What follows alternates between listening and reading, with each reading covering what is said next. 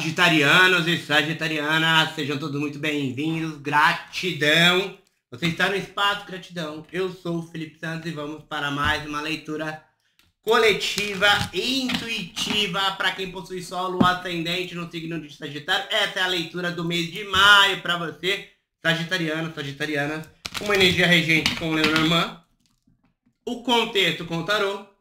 E mensagem final com o oráculo das intenções. Bora lá! Deixa seu like, comenta, fala para mim o que você achou dessa leitura, compartilha com amigos e familiares aí. E claro, se você ainda não faz parte da família, segue a gente nas nossas redes sociais, beleza? Inclusive aqui. Vamos lá, salve universo, salve a luz, salve o amor, salve o grande espírito criador, ciganos e ciganas, energias, possíveis acontecimentos, orientações, direcionamentos para o coletivo do signo de Sagitário que sagitarianos e sagitarianas precisam saber fazer o que eles podem esperar desses próximos dias. Salve cigano, o que, que nós temos aqui? Ó, oh, o urso aqui. Urso, estamos falando de necessidade de você acreditar na sua força, no seu tamanho. Necessidade de você se libertar de alguns fardos que podem ser memórias, podem ser problemas que não são de sua responsabilidade, pessoas que não são de sua responsabilidade energia, situações, desafios que não são seus, tá? É muito importante que você ah, pare de carregar coisas, energias, sentimentos, pensamentos que não contribuem para o seu caminho de prosperidade e de evolução.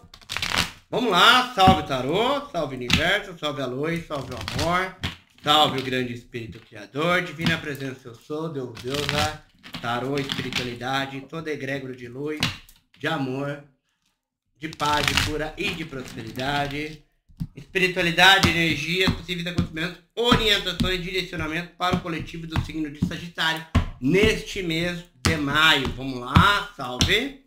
O que, que nós temos aqui? A carruagem o rei de paus, o cinco de copas, 10 de copas, centro da leitura, o 4 de espadas, cavaleiro de espadas, o mundo, o 3 de paus e o 7 de espadas. Bom, primeira coisa, exatamente.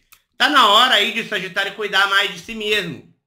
Tá? De repente você está há muito tempo sem tirar férias, precisa tirar umas férias Tá há muito tempo sem fazer um programa divertido, de lazer, de prazer.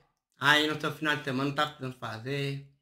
De repente, desenvolver um ritual de autocuidado diário. Aqui é quatro espadas fala que é momento aí de você cuidar de você. É o momento de você tirar um tempo para você. É o momento aí de descansar. Tá? Então assim, Durante o mês de maio, existe uma movimentação aí acontecendo na tua vida, com altos e baixos, e que vai exigir de você que você seja mais. Vamos colocar assim, um pouco mais disciplinado com o teu descanso, com o teu repor energias. Tá? Você precisa estar preparado para tudo isso. Esse movimento todo, ele vai exigir de você, durante o mês de maio, uh, um domínio sobre a sua luz e sua sombra. Por quê? Porque é um movimento que traz aí uma certa exaustão, que traz um cansaço. E por isso o, o, a necessidade de você realmente cuidar de você e principalmente você conseguir manter o foco, conseguir acreditar em você e também conseguir ter a coragem. Por quê? A, a tua disciplina com o teu descanso, o teu foco e tua coragem naquilo que você quer, naquilo que você faz durante esse mês de maio, determina a realização de algo. Determina um objetivo para muitos no campo emocional. Quando a gente está falando de campo emocional, não significa necessariamente relacionamento afetivo amoroso. Pode ser que o que vai te deixar feliz é conseguir passar em determinada faculdade. Pode ser que o que vai deixar te, te deixar feliz é conseguir uma promoção, um aumento no seu trabalho. pode ser o que vai deixar você feliz, realizado e realizada, é, de repente, uma gravidez. Então, assim, né? Ou você conseguir passar no concurso público, ou você conseguir concretizar a tua né, aposentadoria. É você que tem que saber o que, que você quer alcançar. O que, que é que vai trazer saciedade emocional para você. E é disso que nós estamos falando.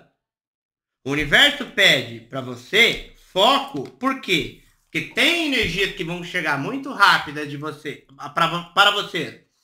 A nível de comunicação, de mensagem, de e-mail, de trabalho, de interação social, que vão exigir de você aí uma decisão, um posicionamento, para muito pode ser até um convite ou uma oportunidade, e que, de certa forma, vocês ficarão ou poderão ficar indecisos e indecisas por causa de uma decepção que já foi vivenciada parecida, similar com essa situação que está se apresentando novamente para você. E aí a necessidade de você estar muito bem descansado, muito bem conectado, conectada com você, para que você consiga meditar, pensar, raciocinar sobre o que você vai fazer. Qual será o seu posicionamento? Qual será a sua decisão? Então você precisa pensar nisso. Porque pelo que eu vejo, vocês vão falar, poxa, é legal, mas mas eu já parei, já já já eu já. Eu já passei por isso, por algo parecido. Quem vive de passado é museu. Nada de decepção, nada de angústia, nada de luto. O rei de paus é alguém que confia muito na espiritualidade também. Tanto que para vocês verem, isso daqui é uma salamandra. A salamandra, ela representa o elemento fogo. É o elemental do fogo. Que representa a espiritualidade, o mundo espiritual. Nós estamos falando aqui de uma saciedade, uma realização emocional que proporciona a você uma perspectiva de futuro muito positiva, que traz a você um avanço muito grande. Para muitos é até de repente, olha aqui, é uma mudança de casa. Eu quero mudar de país, eu quero viver em outro país, eu quero conhecer outro país, eu quero conhecer outro estado, eu quero conhecer outra cidade. E para isso você precisa estar alinhado consigo mesmo, consigo mesma. Muitos de vocês podem vir a, a tomar a decisão de tirar férias em algum lugar para conhecer, para ver se gosta, para morar. Alguns de vocês podem aí estar analisando uma possibilidade de trabalho com redes sociais, com internet, home office. Nós estamos falando aqui de você alcançando um objetivo que vai trazer uma plenitude, uma completude tão grande para o seu coração que você vai esquecer de tudo o que você já passou de ruim.